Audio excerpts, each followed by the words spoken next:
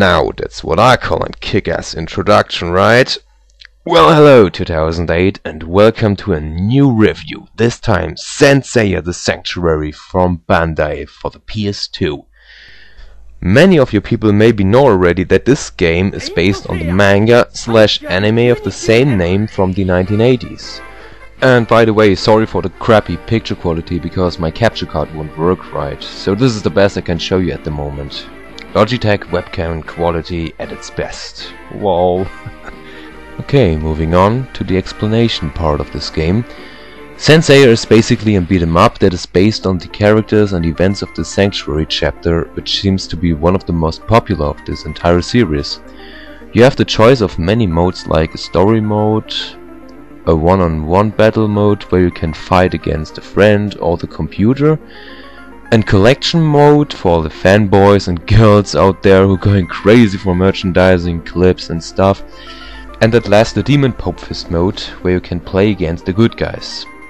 Options of course, but let's start the story mode to show you some bits of it. During the load time you see a little Seiya on the lower right, and when you're moving your analog stick around constantly he charges up to over 9000! Just kidding.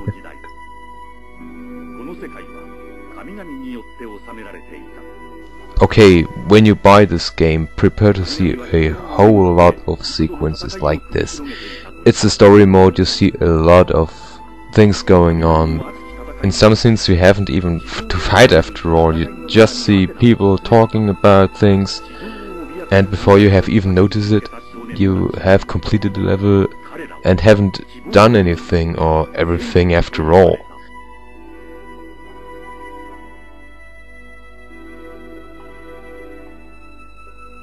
Okay, what impressed me as I first played this game was the music, because it's absolutely fantastic.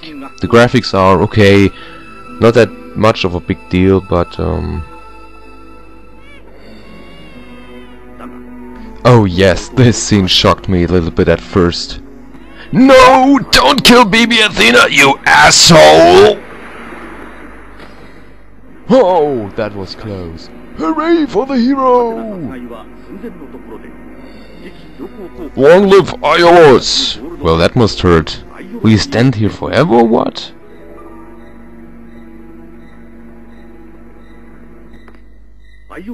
Nope. One more thing, you've got to get accustomed with these long sequences.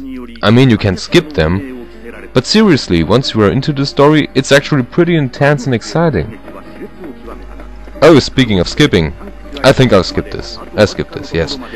It takes a little bit to end.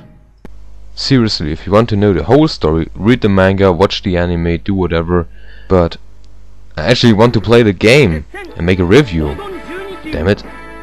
This is a nice idea. They created the start of each level in this game like an episode of the anime. So we see Seiya and Hyoga running around to rescue Athena because she was shot by an assassin from the Pope. That guy that we saw in the beginning. That jackass who tried to kill her as a baby, you know. Yeah, and I also skipped that sequence. And no, this isn't an assassin. This is Mu from the Aries Palace, one of the Gold Saints, uh, and he will teach me the basic controls of this game. Oh yeah, and the voice acting is also amazing. There are also French voices available in this game, and they aren't bad either, but I prefer the Japanese ones. And also hear all that dialogue stuff, blah blah blah blah. It's sometimes like watching an episode of Dragon Ball Z, but this series was actually before DBZ. So before you say something like, oh, wanna be Super Saiyan and shit, watch this first, okay? Yes, and I skipped the tutorial. It's definitely too long.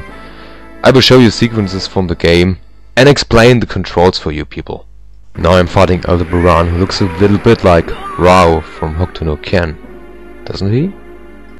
All to know for the basics is um, square for a weak attack, X for a strong attack, the R1 key with the attack key for throwing, triangle for dash, and circle for charging your inner Cosmos slash releasing it. The first thing which is a little bit odd in my opinion is the fact that you cannot jump in this game and I first thought, what the fuck? Ever heard of Tekken or Soul Calibur?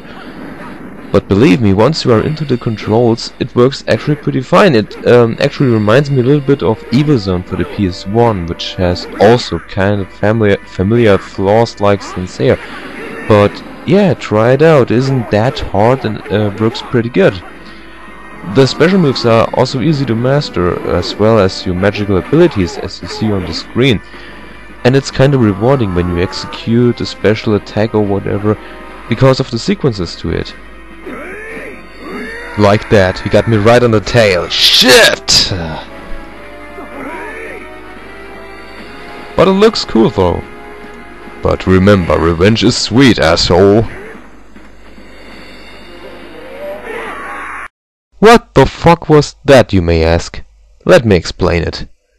Notice also that there are three bars on the lower left. These bars are showing the length of my Cosmos and the higher the number, the stronger will be the attack that I execute with the circle key. And when the three bars are full and I keep pressing the circle key, I charging my Big Bang Gauge. By releasing it, something very cool will happen. Just watch!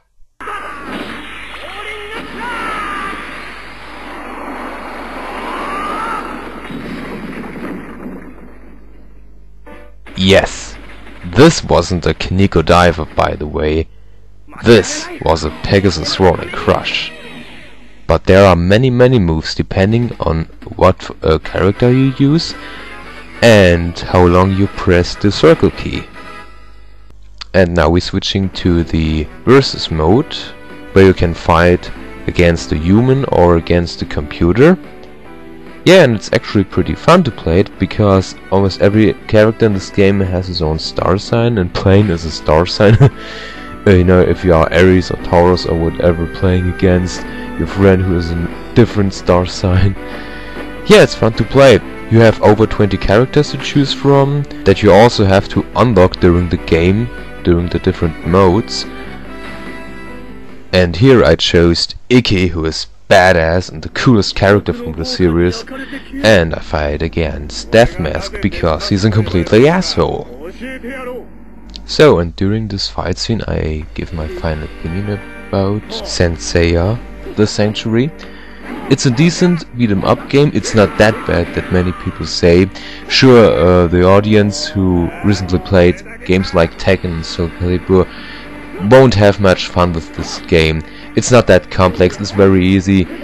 Um, but I wouldn't say that this game is also made for fanboys and girls. If you are open for uh, interesting fighting games or games in general with very spectacular scenes of fighting, give this game a try. Just watch if you have the possibility because uh, I only know this game is available in Japan and in Europe. I don't know if exactly if it's available in the US. But if you are able uh, in the US to get this game, just try it. I don't think that you regret it. It's not that long, but uh, you have things to do in this game. And so, with these words and this fight, I thank you for watching, and see you soon.